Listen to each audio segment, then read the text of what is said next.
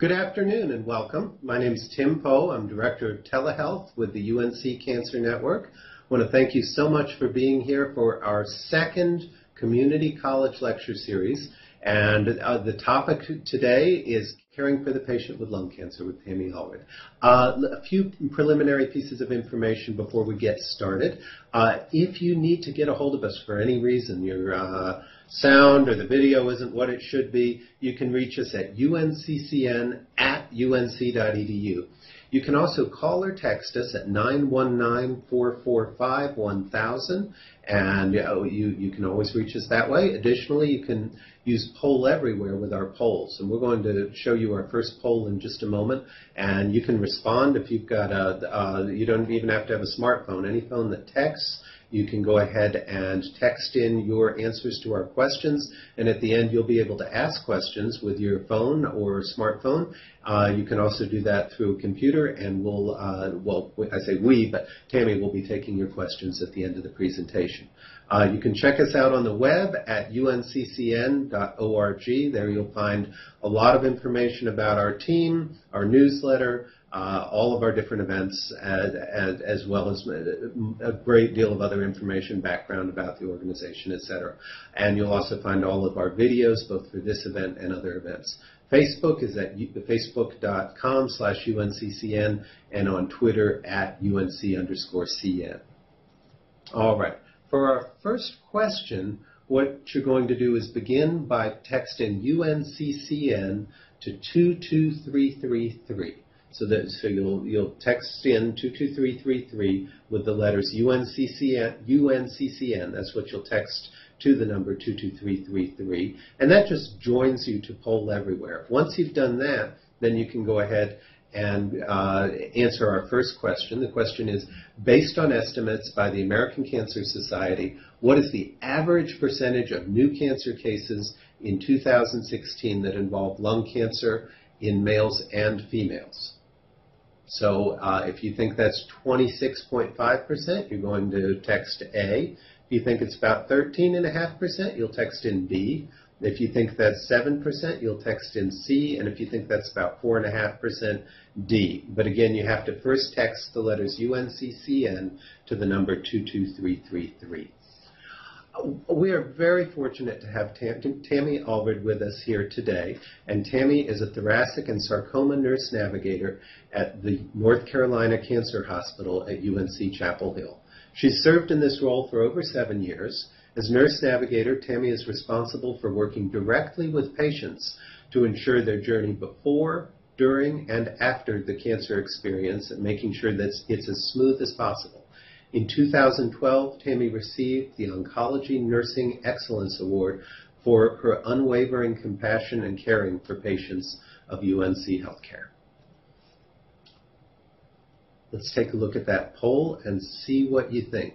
So, so far we've got 50% of our participants saying uh, 26.5%, and well, it just changed now. It's going back and forth, kind of like a race here. But, but we've got about half of, uh, of our uh, participants thinking it's it's around 26%, about half at 13.5%, and, and now about 8% at uh, thinking it's at 7%. So Amy, what's the actual answer here? B. B. All right. So we're looking at um, 13.5. 13.5. All right.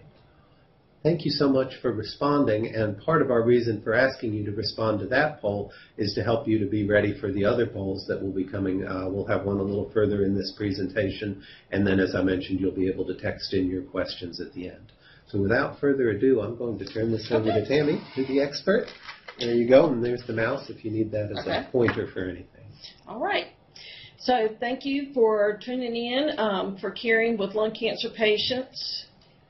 So the objectives are we're going to go over the different types and stages and diagnostic needs and treatment. We're going to review pathophysiology for lung cancers, the incidence and survival, risk factors, signs and symptoms, and the diagnostic test and screening.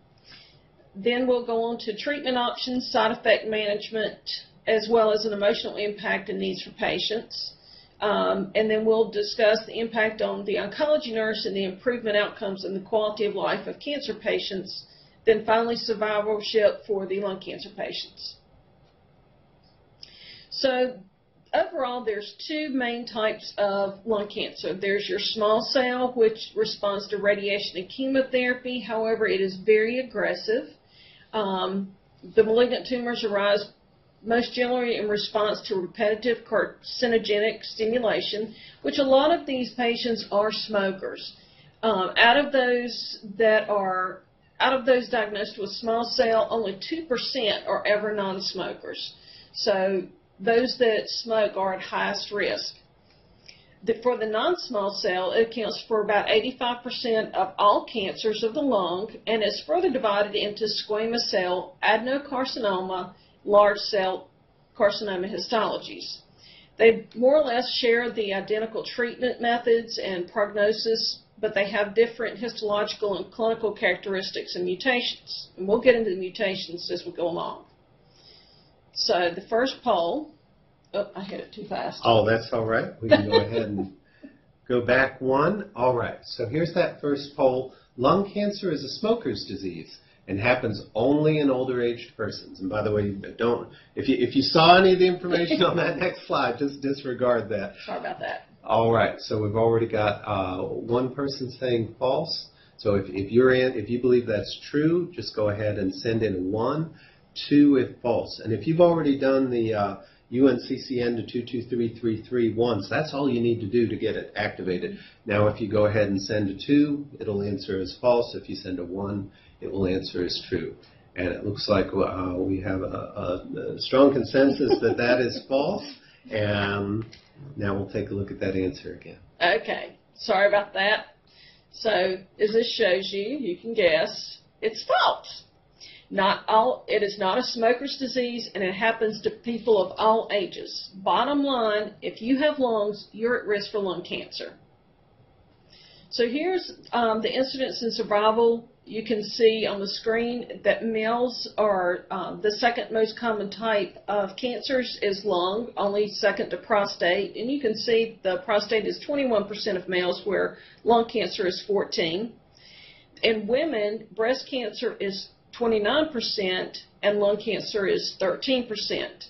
However, if you look at the deaths overall, for both males and females, lung cancer is the number one killer of all cancers. And I hate to say it that way, so I guess it's most lethal.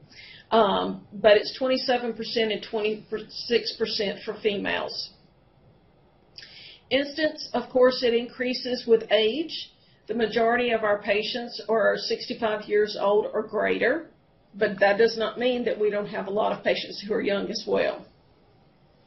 Um, every day, 432 Americans die of lung cancer, and you can see on the the grid it shows you the leading cause of death with 157,000 um, patients diagnosed, or excuse me, lung cancer patients' deaths. And if you see, it, it's a great difference between the colorectal, which is the second one, of only 52,000. Um, only lung cancer is in 20.9% of current smokers, 60% of former smokers, and 17.9% of never smokers. It's the leading cancer of men and women of every ethnic group. And if you look at this screen, it'll show you the federal funding um, for research. And this is really heartbreaking if you look lung cancer is the smallest amount, and this is by the uh, National Institute of Health research dollars per death. So every person that passes away from lung cancer, the amount of research that goes in for that person is only about less than $1,500. Um, and if you go over the actual to the um, dark side, I say it that way, but the dark side where it shows the disease types, there again, I mean, it's just mind blowing how much um, money is needed for these patients per person's death versus how much that is actually allotted. So when it goes to screening, cervical cancer, of course, you can have the pap smear. And with the uh, when they started doing pap smear, that had a greatest impact of 75% of deaths in cervical cancer patients. So they were able to diagnose it before it became an issue, before it became advanced. Colorectal cancer with a colonoscopy, it caused a 60% decrease in the incidence of cancer and 31% decrease in deaths. So um, they have been doing a lot of research since 2002 when we started doing the national lung um, screening trial up until 2015 when they finally settled out, settled out on some lung cancer screening guidelines. So um, now if you are, have been a smoker, a former smoker, active smoker, we can get you into smoking cessation. Um, and also it puts you to where if you have a history of smoking, then you um, can have CT scans done, a low dose CT scan, to be sure that we monitor and uh, recognize any changes in the lung fields. And this shows you the more of the guidelines from the NCCN, which is the National Comprehensive Cancer Network. If you have a history of smoking, radiation, expo- or excuse me, radon exposure, occupational exposures, cancer history, or a family of family history of lung cancer with first degree relatives, a history of COPD or pulmonary fibrosis, secondhand smoking exposure, and the absence of symptoms of lung cancer, um, that is broke down into a, a, larger category. It gives more details. But if the patient is, a, say they're a smoker and that puts them at high risk, this is only for ages um, 50 or greater that they look at this. Um, so if age 55 to 74 years old and they've been smoking greater than 30 year pack history, then they're automatically going to be um, put into the CT screening program. The moderate risk, if they're 50 years um, and they've been smoking for 20 pack years, or they have a secondhand smoke exposure, which is a, large amount, like if they're first degree, if they lived in a house with several people who were uh, smokers, or if they worked, say, at a bar where there was a lot of smokers, then that they still would not be at risk, but that would also make them be more aware. So maybe they could get their primary care doctor involved and monitor them. So if they did start showing changes, a cough, or they did a CT, excuse me, a chest X-ray for incidental finding or screening on an annual basis, they would know that they have that risk. So the risk of lung cancer. Secondhand smoke. If you live with a smoker, you have a 24% increase in developing lung cancer than those that do not. Um, just think about when that person blows their smoke out, they're blowing out their carcinogens and the toxins and everything from the cigarette as well. Radon, radio, radioactive dust, um, that's usually in the mountains area, but it is found in the Piedmont um, and surrounding areas. You can get a small test kit from the um, health department, um, and you just put it in a closet or somewhere where there's not a lot of airflow. And once it's been there, I believe it's two to three days, then you package it back up and mail it back to the um, the state, and they will tell you if your home contains radon. Air pollution, genetic susceptibility, um, it just we haven't really identified the patients who have a genetic marker that we can track for the diagnosis of lung cancer, but you can look at family histories, familial predisposition, hormone factors. Um, a couple of years ago, they did find that hormones do affect the increase the risk of lung cancer. So uh, young moms we were having several uh, women who were popping up who were young moms who had just delivered or either pregnant that uh, found that they had lung cancer. Infectious factors, there's you've got your TB, and then if you have recurrent infections, whether it's pneumonia or mycobacterium, that puts you at risk. Anything to irritate the lungs, um, the lung lining. Lung disease, COPD, um, is associated with four to six times the risk of a non-smoker arsenic and asbestos. Um, workers who do not smoke but have been exposed to asbestos do have a five times risk of developing lung cancer than non-smokers. And occupational exposures, whether they are in paving, roofing, painting, chimney sweep, somewhere where they've been exposed to the toxins. So the symptoms of lung cancer. So you can, um, a lot of times patients come in and they are having a chest x-ray for a preoperative workup or if they've been in an automobile accident or it can be from anything that just brings them to the emergency room. That's usually when we find that the patient has a tumor or um, any type of changes in their lung that means that they need to be watched more closely.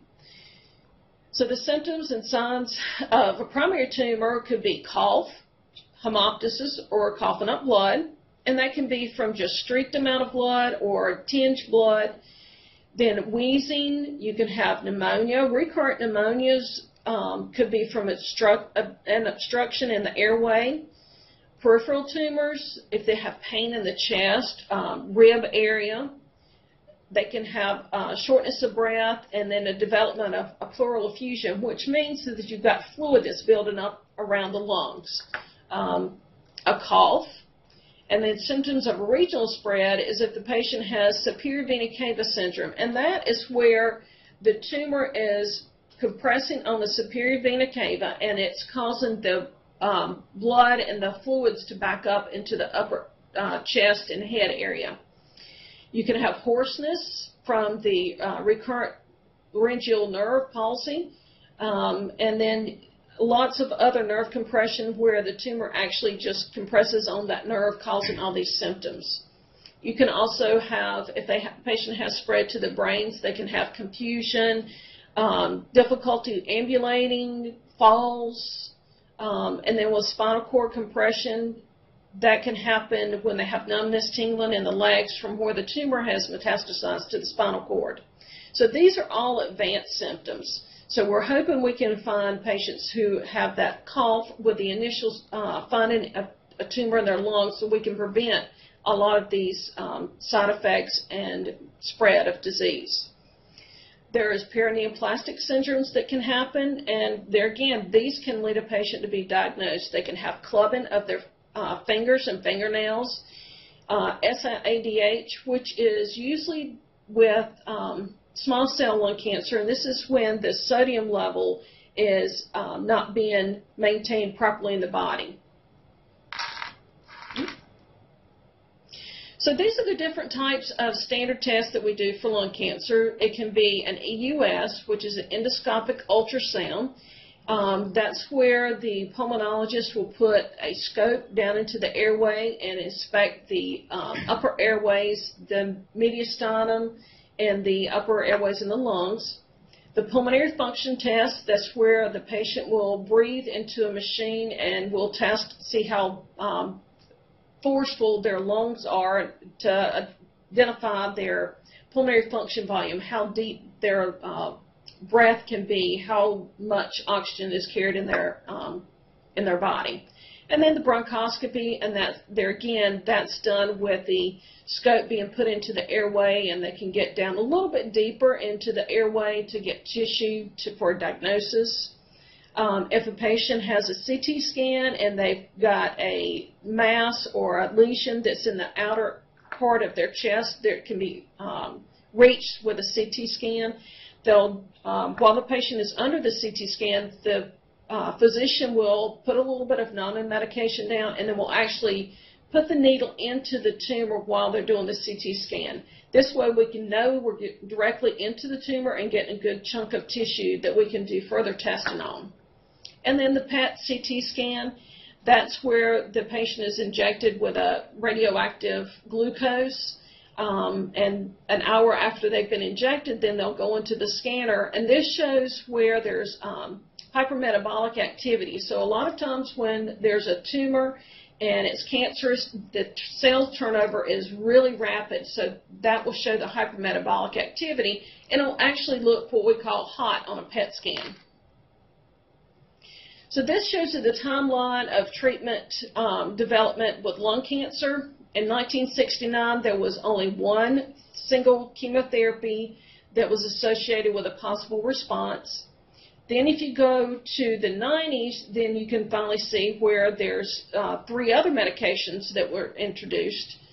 So it was kind of a slow process, and then I would say over the past year is where we've had the most year or two. We've had the most response, um, the most identif- uh, rapid identification of treatment options. So you can see the doublet chemotherapy. Um, then we have the introduction of erlotinib or Tarceva. It is known to treat patients who have a um, EGFR mutation. EGFR means epidermal growth factor receptor, and that can be on any cell in the body.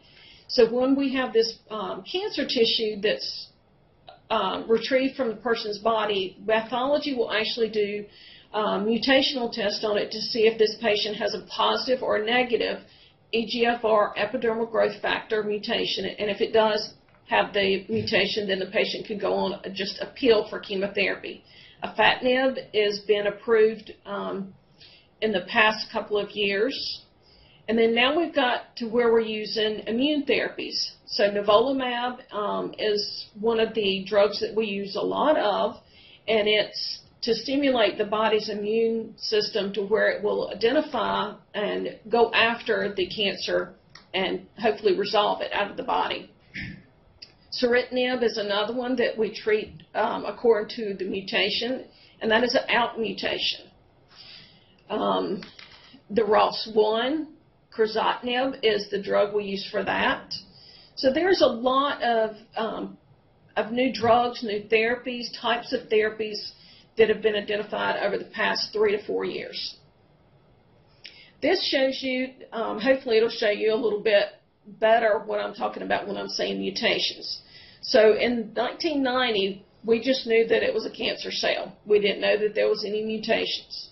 So then we identified that um, the cancer cell itself is divided up into several different types. It's the adenocarcinoma, the squamous cell, and then that little other. It could be large cell. Um, and then out of those, we found the mutations or the targeted therapies. So if you look at the adenocarcinoma, you can see we have the HER2, the MEK, a ROS1, a RET. Um, when these start coming down the pipeline, you kind of scratch your head going, where in God's name did they come up with these abbreviations? But um, it, we do have drugs now that identify, that are treated to each one of these. Most recently, we had um, the RET drug that was identified. So now patients, when they um, we get their tissue and we identify what type of mutation they have, they can go on this oral therapy. So there are some challenges when we try to get tissue or um, identify the mutations in second and third line treatments. So usually, um, a lot of times it's difficult to obtain the tissue from the patient, or they have to go back and have another biopsy. Um, there's difficulty in making sure there's enough tissues uh, that we can do testing on. So sometimes we can actually do a liquid biopsy on patients, doing their, taking their blood and identifying if they have any types of mutations, um, whether it's the EG, mainly it's the EGFR, the epidermal growth factor. Um, and 30% of the um, patients in the um, trial that they did over to the side, um, they had enough tumor samples that they could identify these patients and actually treat them. So it's easier to draw blood out of a patient and send it off to have it tested than it is to obtain um, tissue for a second time just because of the risk. So this uh, slide, um, I just came up with it the other night and happened to think about it, and I thought, well, I'll add something to it. So you, the little stars are actually showing the um, drugs that we now have um, that can treat these mutations. So the ALK, the BRAF, and with a BRAF, if that cell or the tumor itself excretes a BRAF, we can usually treat it with a drug, um, an oral drug. So not all chemotherapy has to be through an IV. Um, HER2, EGFR, which I've spoke about, the MET, MEK, and RET and ROS. So characteristics when we're making the treatment decision, of course, age can be the biggest factor, um, but we still we can treat elderly patients with the same type of chemotherapy we do younger patients. Sometimes we just have to monitor the dose that we give them. But age um, is the first treatment decision we do look at. Then comorbidities. Does the patient have um, other issues? Do, are they a diabetic? Do they have other type of lung disorders? Do they have um, inability to ambulate? Um, are they incontinent? So there's different things we have to look at overall for the patient. Their performance status. Um, performance status of a zero means that the person is up, ambulating, independent, able to do what they like. A one is somebody who is able to get up, but they have a little bit of difficulty, whether they have fatigue um, or just not have the endurance. And then a, the performance status of a two is someone who is basically uh, laying around in the bed, inability to get up. Then we also look at is it a male versus a female? Is it a squamous cell histology or a non-squamous cell? Do they have mutations or are the mutations what we call wild type? And that's mainly with the EGFR epidermal growth factor. Are they a smoker or a non-smoker? And believe it or not, we even look if they're Asian versus they're not an Asian because the Asian population actually respond better to a certain drug that most Americans won't respond to. So this is, screen shows you the uh, lung cancer stages. So the stage one is when it's localized. That can be surgically excised without any difficulty. A Stage two is if it's greater than five centimeters or has spread to local lymph nodes. So with those type of patients, after we do a surgical, uh, surgical excision to remove the tumor, then they will do chemotherapy along with the surgery. Stage three, they are locally advanced, and so these patients will get chemotherapy and radiation, and after they have the chemo radiation, then possibly to have surgery to remove the residual tumor. And stage four means they are advanced or metastatic. These patients will get chemotherapy plus or minus palliative radiation. By that I mean if it's palliative, if the patient is symptomatic, um, it's radiation is given for symptom control. If they have a tumor in the upper airway causing shortness of breath, then we'll give them radiation to that area as well. Surgical candidate assessment, it depends on the type, uh, excuse me, the size of the tumor and the location. How their pulmonary function is. Are they able to take a deep breath? And the, when I showed you earlier about the pulmonary function machine, um, or excuse me, pulmonary function test, are they able to expel enough carbon dioxide? Are they able to retain enough of the oxygen? Um, we will assess the FEV1 and DLCO, which is um, part of the lung function. They may have to have an exercise study to see if they can endure um, being up walking, what their tolerance is. Can they walk on a treadmill, or are they just able to um, maybe do a light exercise. And then we'll look at the perfusion scan. Um, and that's a scan that is done to assess the airways, um, how deep breath they can take. And then the cardiac function. We want to be sure the person's heart is stable and strong enough to tolerate them having this surgery. So then radiation, radiotherapy in stage one and two. Remember, uh, stage one is one that can be excised. Stage two is one that can be excised and may or may not need radiation or chemotherapy with it. Um, while surgery is a beneficial, uh, most beneficial therapy, radiation alone has been used in patients that can't tolerate surgery. So if the patient has um, poor cardiac function or they don't have very good lung function, then we can do radiation um, or CyberKnife therapy to that tumor. That way they can have it um, not really removed, but um, it can be irradiated to where it causes the cell death and they won't have any issues. Smaller tumors have better survival outcomes. There again, if it's a smaller tumor, then they can do um, an excision without having um, a lot of issues or side effects are delayed in recovery. Enlarged tumor cure is rare, but it can be controlled. Comorbidities influence survival rates. If a patient has diabetes, or if they have poor pulmonary function, or if they have a poor cardiac status, it will affect their overall survival. Um, radiotherapy has been used preoperatively, but um, with a little increase in survival benefit. So it's better if we can do the um, surgery to remove the tumor and then give it post-operatively. And CyberKnife radiation can be done. It's when they um, the provider will do a bronchoscopy and place these little gold seeds that are called fiducials. They'll put those into the tumor itself and then receive radiation. And the tumor, excuse me, the fiducials will um, more or less attack, have the radiation attached to it, and that way it'll get better uh, cell kill. Traditional dosing of radiation, um, it can be two-dimensional with a total dose of 60 gray. Clinical trials have been looking at going uh, dosing up to 90 gray, which is a really high dose of radiation. The standard that we still use is still the 60 gray. However, it can go up to as much as 70 gray. Trials have looked at sequential or concurrent chemorads with results showing concurrent has better outcomes.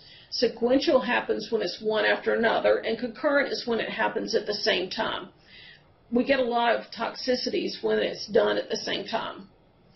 Trials have looked at hyperfractionation, which seems to have better outcomes, and that's usually when the dose is given twice a day rather than only once a day. Um, and then the 3D radiotherapy is considered to have a new standard of care. It's higher, um, tighter fields and less toxicities. Radiotherapy is used to treat brain mets and painful bone lesions. A lot of times, if um, a patient has small cell, then we'll go ahead and give um, whole brain radiation to that um, to that patient, which is called PCI, or prophylactic um, cranial irradiation. Occasionally, radiotherapy can be used to treat pneumonias caused by tumors, and that's usually when there's an obstruction of a tumor that's causing the patient to be short, short of breath, uh, having a call for hemoptysis. And then stage four, radiotherapy is always palliative. In other words, it gives relief of pain. So radiation, uh, as far as nursing care, the patient um, you'll need to go in and assess the patient and the family and make sure that they're aware of the true facts of radiation because there's a lot of the old wives' tales. Um, I've actually have patients who come in and say that they can't be around their children or their grandchildren because they're going to be um, excreting radiation, so they can't use the same bathroom or they can't be even hugging each other. So you need to teach patients and families about their treatment plan, the appropriate side effects, assess for skin changes during radiation. Be sure they're aware if they have redness um, or any wet redness in the area. That's usually the sign of a radiation burn. That they're letting the provider know or the nurse know immediately when they start seeing these changes. Um, early intervention prevents a lot of um, really nasty burns later down the road. Assess for esophagitis. When a patient's going through mediastinal or central part of their chest radiation, that's going to affect the esophagus. If the patient has esophagitis, they won't be eating or drinking as much, and it does cause extreme amount of pain. So you're going to also get pain management. And then you're going to assess the dietary intervention. Be sure the patient's getting enough fluids, they're, they're getting enough nutritional intake, whether they need supplements, and sometimes they even have to go as far as getting a um, PEG tube or a G tube placed, and that's just a small um, same day surgery where they put a small tube into the gut so that way they can feed and get appropriate nutrition.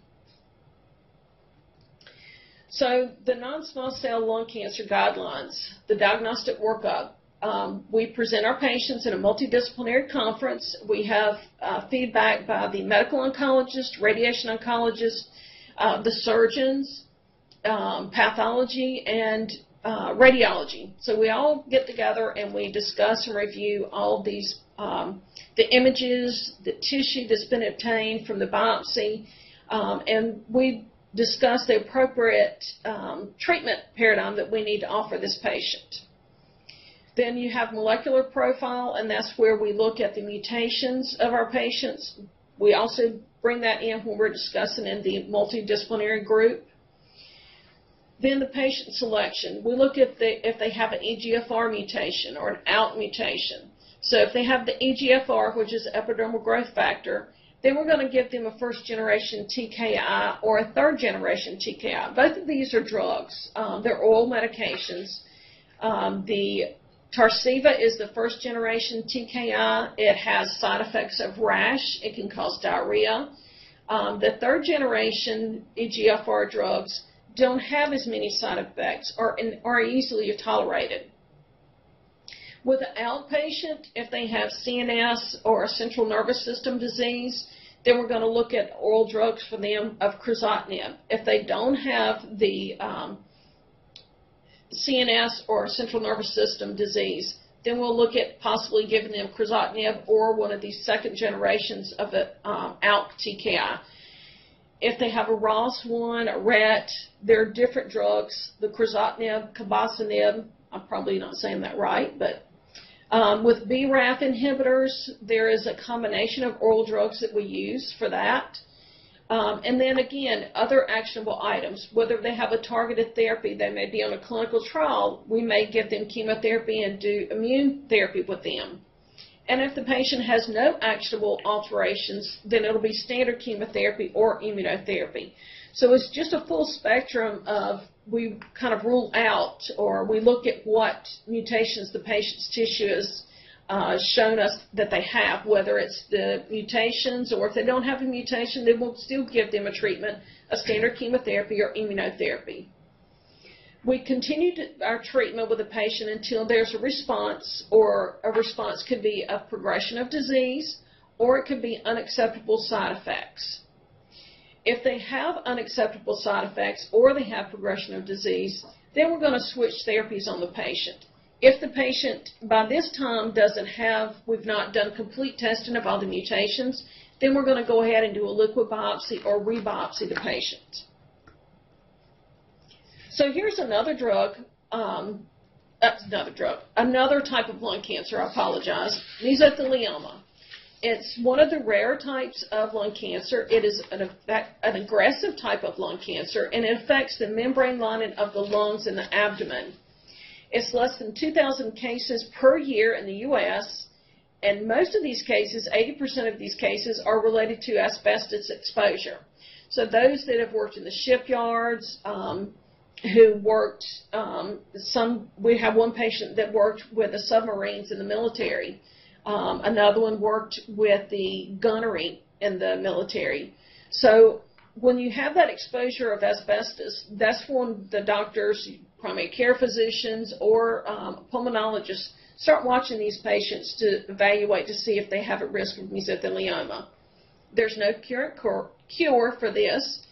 Um, there is a possibility of surgery depending on the amount of uh, disease in the lungs and chemotherapy can help improve um, the outcome.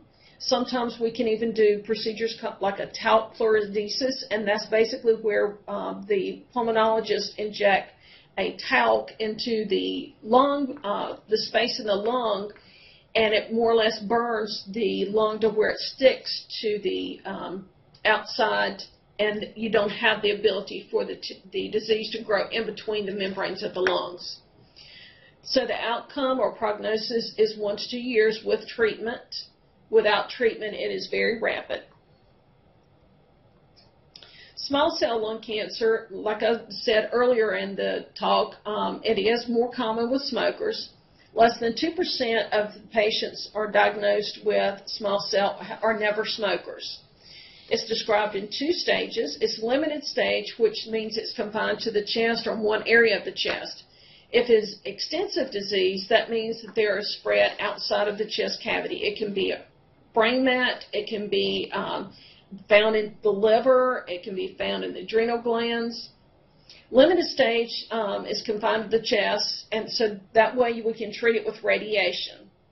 If it's extensive disease, that means it's outside of one of the radiation ports, and that means the field of radiation. So with those patients, we will um, usually give chemotherapy up front. 20% cure rate for limited stage, and that is only if it's caught in the very early stages. Overall response rate is 50 to 75%.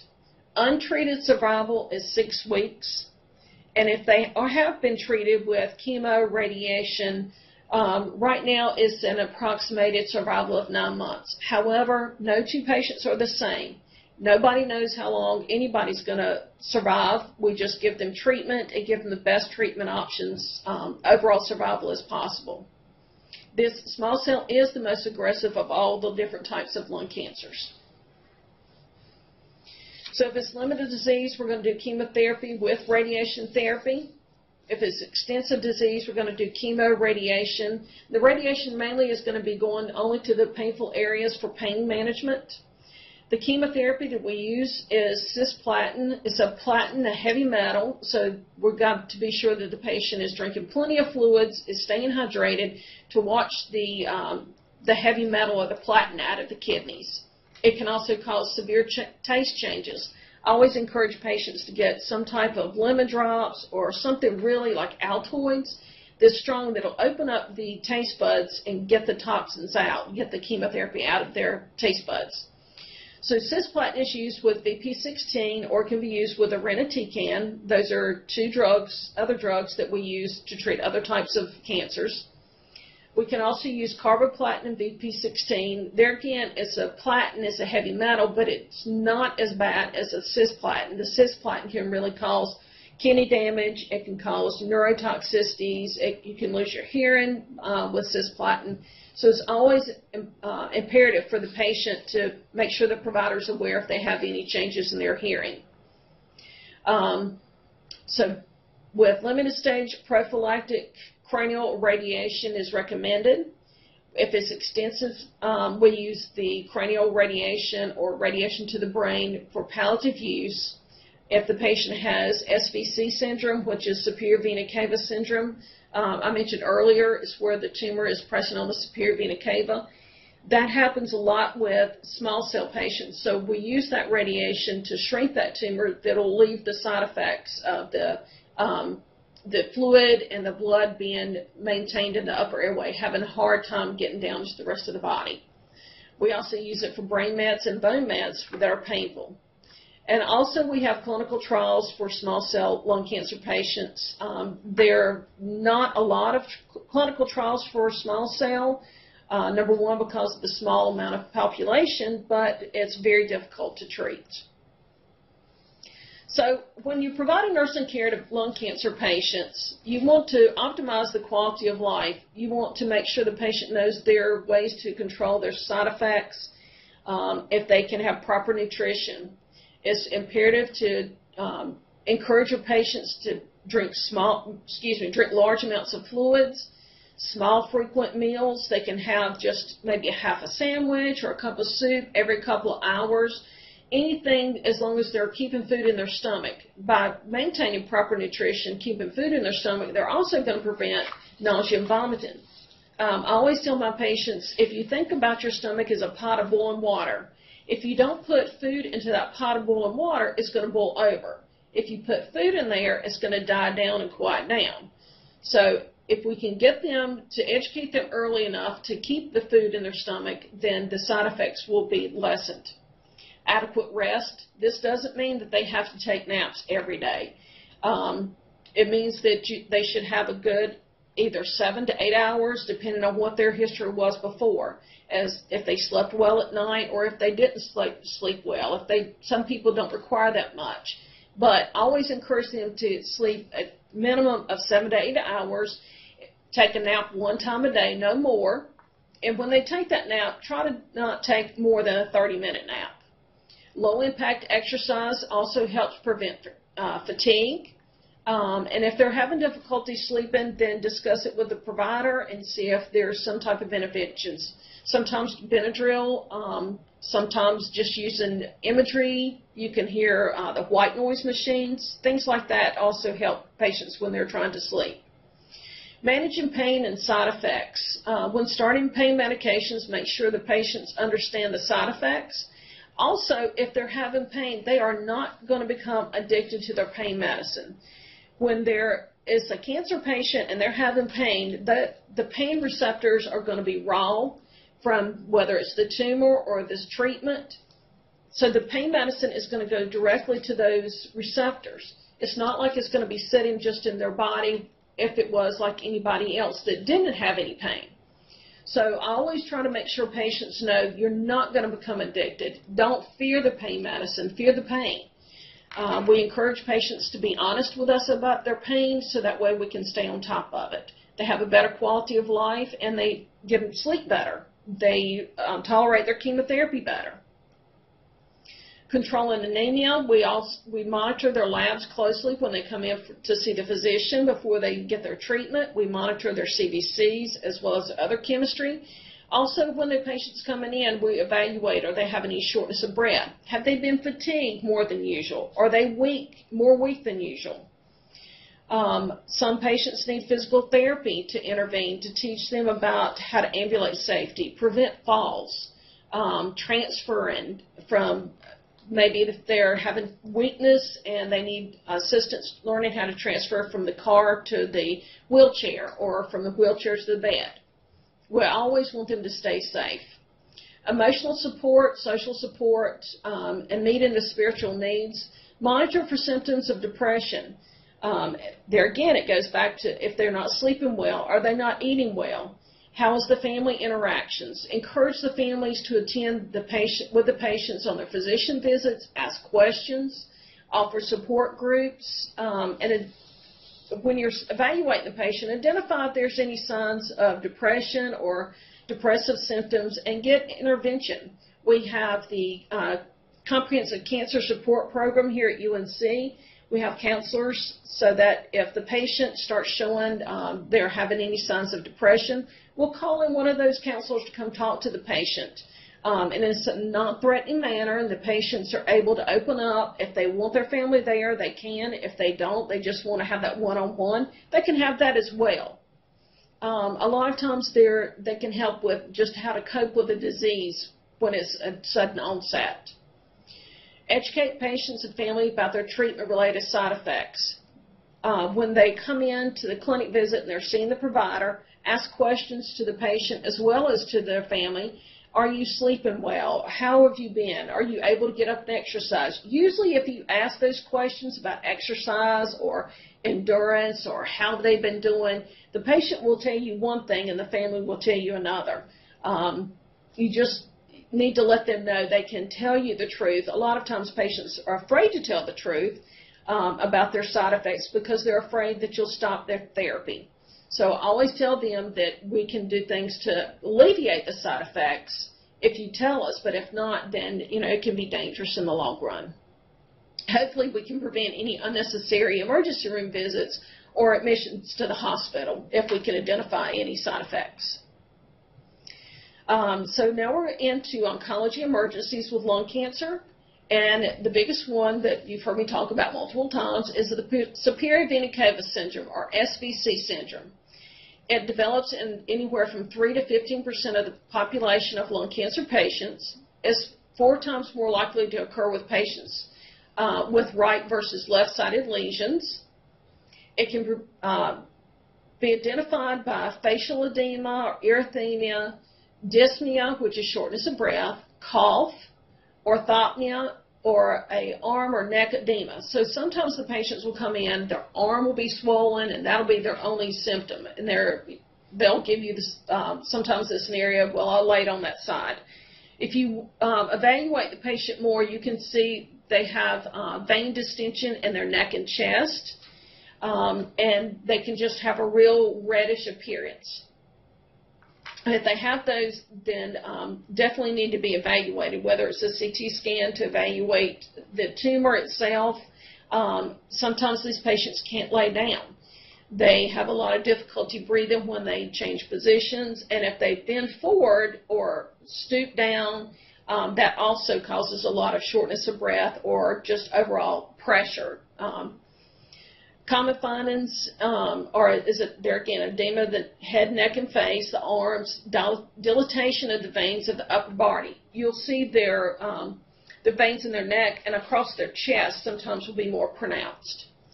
Um, cyanosis of the face, periorbital edema, it'll be prominent. They'll have a lot of swelling, almost like their eyes are um, almost swelled shut.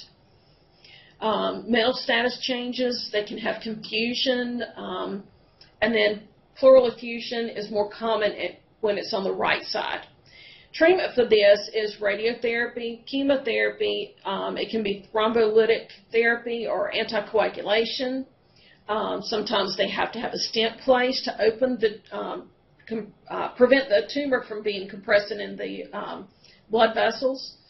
Angioplasty, and then the worst is when they have to have a surgical bypass because that will delay um, with them getting their chemotherapy.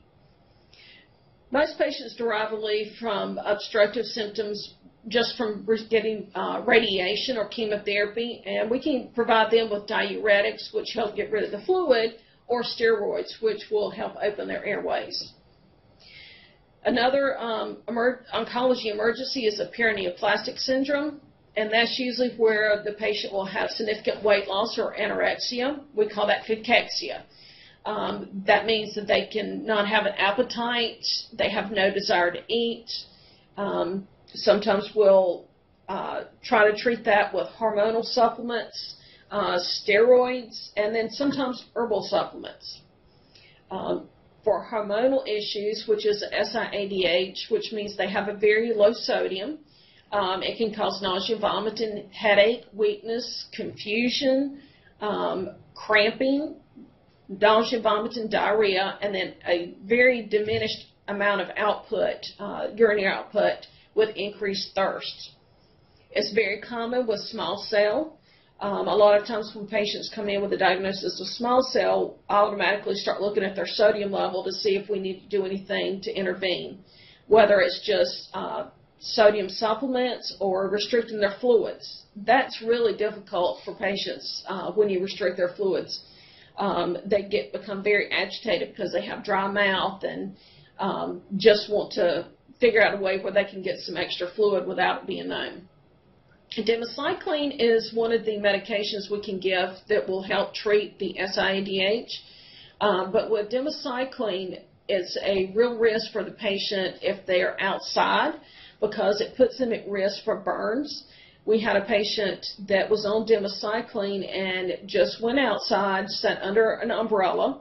She had on long sleeves, but it was thin material and long pants and she ended up having a third degree burn over her legs and arms because of the sun. Uh, she sat out there for quite a while.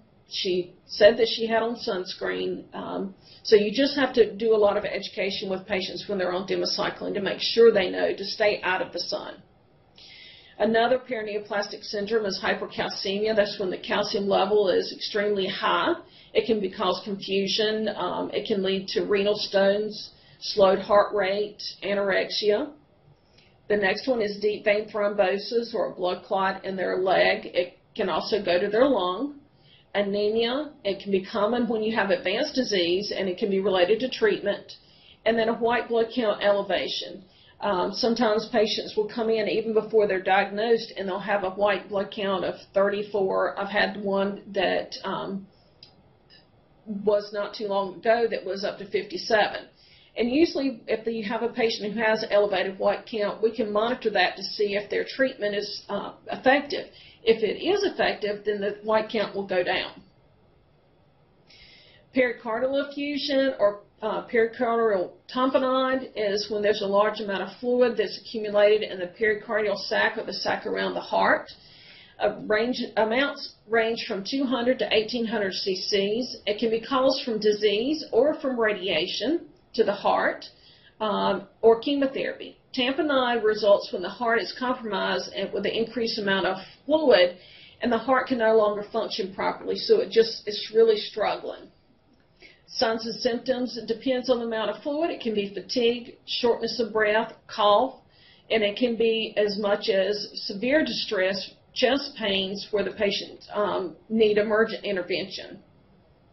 Um, and then the severe tamponade also can cause increased anxiety, restlessness, confusion, agitation. And the treatment for that is to drain the fluid um, and relieve the fluid pressure, sometimes by surgical intervention. Pleural effusions, that's just the uh, fluid around the lungs. It can be excess sometimes, and with those patients, they need to have a PleurX placed, which is just a small catheter that goes into the uh, cavity in between the lung and it just continually drains off the fluids. Sometimes those fluids can be clear, sometimes they can be really thick. Um, the symptoms are shortness of breath, dry cough, chest pains, uh, lowered blood pressure, and then ipsilateral shoulder pain or discomfort. This can become an emergent process when the patients are um, have an increased amount of fluids that's causing decreased breath sounds. Sometimes you can hear rub when you listen to their heart sounds, I mean, excuse me, their lung sounds. It's found uh, diagnosed with a chest x-ray or CT scan, and there again, treatment is draining the fluid off. Um, with the advanced patients, you have spinal cord compression, and that's where the disease has gone actually into the spinal column in between the vertebral bodies, and they're causing pressure directly onto the cord. Those patients usually have um, numbness, tingling in the arms, their legs. They have pain in their back, especially when they're laying flat. Um, and treatment of that is with radiation. Sometimes it has to be with surgical intervention to um, relieve the the actual lesion from compressing onto the nerve, nerve base. So survivorship in lung cancer, um, it's a one, the one and five year survival rates for lung cancer are 44% and 17%. I would really like to see them be higher, but we're getting there slowly.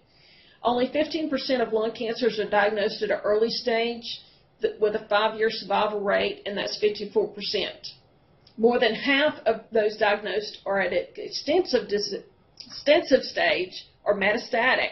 That means they're outside the lung, um, the chest, and those survival rates are 26% and 4%. The five-year survival rate for non, for small cell lung cancer is 6%, which is significantly lower than the actual 21% of non-small cell lung cancer. So you see that lung cancer is very aggressive. Um, here's a slide that I've got other resources, which is UNC Cancer Lineberger, Lineberger Cancer Center. Cancer Grace is an interactive website so patients and family can ask questions with a medical professional that will answer those in real time. The North Carolina Lung Cancer Initiative is a support and support group, and we raise funds to fight um, lung cancer. We can supply grants for uh, researchers in the hospitals, and also to raise funds for gas cars to help uh, patients get to and from their provider. This is uh, just a very special poem that I, I just it speaks volumes about lung cancer or cancer all over. Um, its cancer is so limited, it cannot cripple love, it cannot shatter hope, it cannot erode faith, it cannot eat away peace, it cannot destroy confidence, it cannot kill friendship, it cannot shut out memories, it cannot silence courage, it cannot reduce eternal life, it cannot quench the spirit. Tammy, thank you so much. That's a wealth of information, and I hope that all of our audience enjoyed that, and, and I'm sure they learned quite a bit from this today. I want to um, remind, we have just a few minutes for questions here, and so if you do have those questions, if you haven't already uh, texted UNCCN to the number 22333, do that now, and then you can go ahead and start submitting those questions. Uh, while we're waiting for a few questions to come in, I wanted to ask you, uh, what, what drew you to the field of oncology, and, and if you could tell us uh, you know, what, what brought you to this field? When I got out of nursing school, my, um, I went to work at a small community hospital, and it was a med surge floor. Mm-hmm. That was before they had the oncology units. So then we started getting more patients in, and it seemed I seemed to be drawn to those type of patients. They seem to be patients that they just appreciate everything you do for them no matter what. Yeah. So it kind of got in my bloodstream, and mm-hmm. I've not gotten mm-hmm. rid of it yet for 30 years, 31 years. well, we're very thankful. What advice would you have to any members of our audience who are pursuing healthcare careers and and may have that similar draw to oncology uh, through the, the, exposure to lectures and patients and and other information? What, how, how would they go? Uh, what would be the next steps for them? About go out there, get research, look at mm-hmm. um, the different types of cancers, whether mm-hmm. it's um, lung cancer, breast cancer, whatever, pediatrics. Mhm. But if you've got uh, desire to make improvements, to make, um, to give help to people, Mhm. I would just go for it. Um, you know, if you've got the, a, a chance to even um, help out at hospice, if you want to go in and just be a volunteer with hospice or a hospice home, get your foot in the door that way, and that way you can see what these patients have received during their treatment journey, Right. and it'll give you more desire to go back and give more. All right. Well, thank you. Uh, do we have any questions? And I know we're running out of time here, where- so wait just a few more seconds to see if any questions appear. And you're always welcome to submit your questions at our unccn at unc.edu email address. Uh, as we finish up here, I want to thank the University Cancer Research Fund and the North Carolina State Legislature for their generous funding of the Lineberger Comprehensive Cancer Center and uh, the UNC Cancer Network. We also want to thank the North Carolina Community College System uh, for their participation in this series and all of the community colleges that are participating. Uh, when we talk about the North Carolina Community College System, we specifically want to call out Renee Batts and Catherine Davis for, for their uh, all the generosity in terms of the, the time and commitment that they've given to making this program possible. We also want to thank the members of the UNC Cancer Network, Dr. Tom Shea, Mary King, Max Gaynor, Al- Alan Brown, and Gene Sellers, who, who all are, are extremely dedicated to making this program possible. All right. With that, we want to thank you. Uh, we will have much more information available soon about a spring program and specific lectures for the, the winter spring for the community colleges. So look for that soon. Thank you so much for your time and, and your participation today. And we look forward to seeing you at a future lecture. Thank you so much.